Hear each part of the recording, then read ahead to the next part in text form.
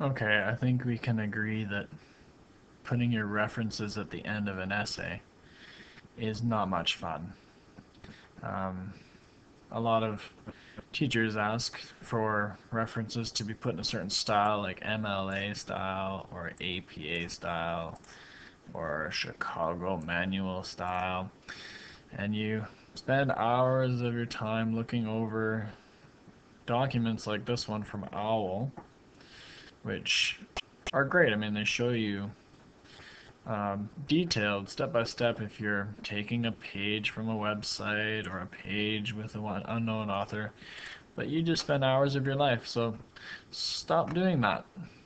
I'm going to show you something that changed the way that I do my references.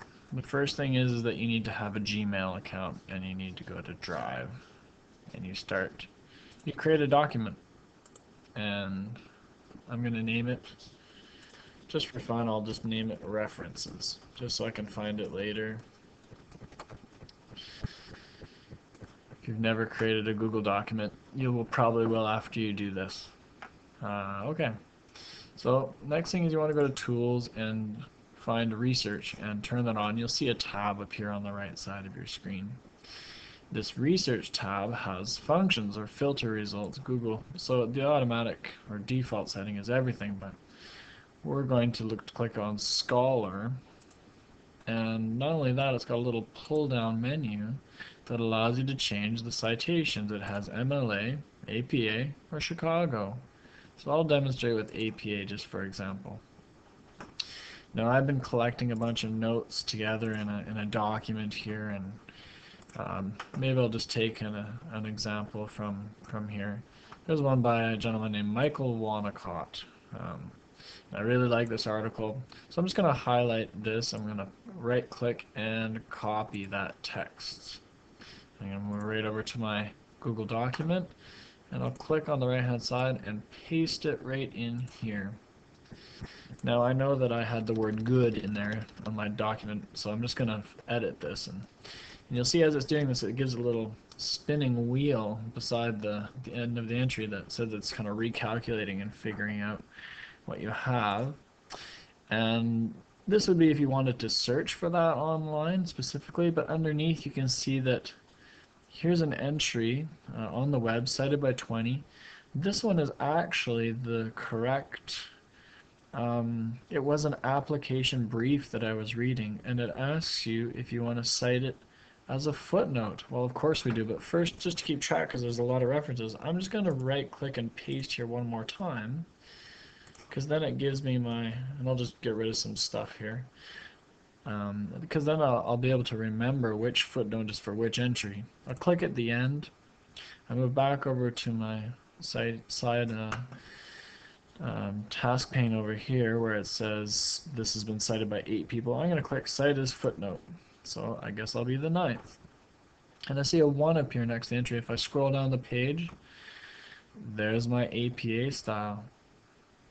You can do this again and again, and um, you just keep adding the references that you have. So uh, I'll try this one.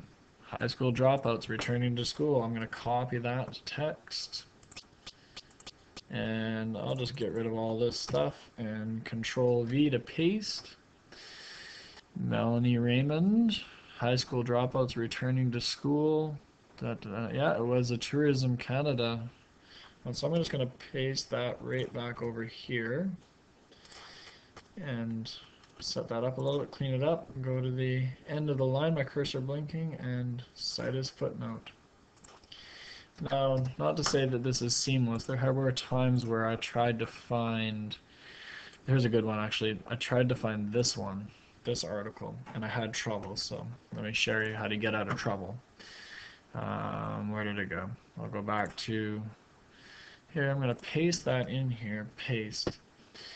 And, oh, you know what? It came, this time it did come up uh, with the correct, crazy how it figures these things out as you go. Um, so here's the correct um, reference here. Immediately it pops up. And it does all the work for you. Even italics is done for you, everything. But uh, in the case where you do have problems, you may want to open the original uh, document. So here is actually the original document, and I actually just copied the title right out of here and pasted it right in here. I'll just delete that and paste it back in. And I can see that it actually, it, the spaces matter. So if you notice that no spaces got put between words, you have to go through it carefully. Inspect it really carefully, take a look. Uh, there's a space needed. There's too many spaces, and as I do this, it refines the the search. And there it is. It came back with the same web web article. So I'll cite it as, a footnote. And down at the bottom, number three, everything's in italics, period spaces. Thank you, Google Scholar and Google Documents. You saved my life. And a big shout out to Ryan Layton. Ryan Layton, you showed me how to do this, and you are the king. This is Mel Burgess, and I hope that you enjoy uh, Google Doc uh, research APA or Chicago style MLA citations. Thanks for watching.